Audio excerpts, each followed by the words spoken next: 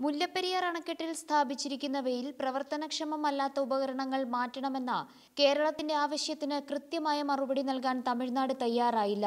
ഇന്നലെ നടന്ന മുല്ലപ്പെരിയാർ ഉപസമിതി യോഗത്തിലും കേരളത്തിന്റെ പ്രതിനിധികൾ ഈ ആവശ്യം ഉന്നയിച്ചു. തുലാവർഷത്തിനു മുന്നോടിയായി ഏർപ്പെടുത്തിയിരിക്കുന്ന ക്രമീകരണങ്ങൾ വിലയിരുത്താനാണ് അണക്കെട്ട് പരിശോധനയ്ക്ക് ശേഷം സമിതി അംഗങ്ങൾ യോഗം ചേർന്നത്.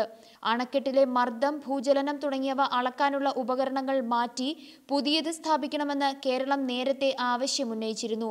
നിലവിലുള്ള ഉപകരണങ്ങൾ വിദഗ്ധ സംഘത്തെ കൊണ്ട് പരിശോധന നടത്തണമെന്നും ആവശ്യമുണ്ട്. ഇന്നലെ അണക്കെട്ട് സന്ദർശനത്തിന് ശേഷം നടന്ന ഉപസമിതി യോഗത്തിൽ ഇക്കാര്യം ചർച്ച ചെയ്തെങ്കിലും തീരുമാനമായില്ല. അണക്കെട്ടിൽ സ്ഥാപിക്കാൻ സീസ്മോഗ്രാഫ് ആക്സിലറോമീറ്റർ എന്നിവ വാങ്ങി. ഇത് കൊണ്ടുപോകാൻ അനുമതി ആവശ്യപ്പെട്ട് തമിഴ്നാടിന് കത്ത് നൽകിയിട്ടുണ്ട്. വള്ളക്കടവിൽ നിന്നും മുല്ലപ്പെരിയാറിലേക്കുള്ള റോഡിലെ തകർന്നു കിടക്കുന്ന ചപ്പാത്ത് പുനർനിർമ്മിക്കണമെന്ന് തമിഴ്നാട് ആവശ്യമുന്നയിച്ചു അണക്കെട്ട് തുറന്നുവിട്ടപ്പോൾ കുത്തിയൊലിച്ച വെള്ളമാണ് ചപ്പാത്ത് തകർത്തത്. ഫോർ വീൽ സംവിധാനമുള്ള ജീപ്പുകൾക്ക് മാത്രമാണ് ഇപ്പോൾ ഇതുവഴി കടന്നുപോകാൻ കഴിയുക. ഇക്കാര്യം ജലസേചന വകുപ്പ് സർക്കാരിനെ അറിയിക്കും.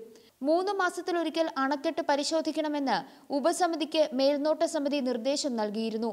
കേന്ദ്ര ജല കമ്മീഷൻ എക്സിക്യൂട്ടീവ് എഞ്ചിനീയർ ശരവണകുമാർ അധ്യക്ഷനായ സമിതിയിൽ കേരളത്തിലെയും തമിഴ്നാട്ടിലെയും രണ്ട് പ്രതിനിധികൾ വീതമുണ്ട്.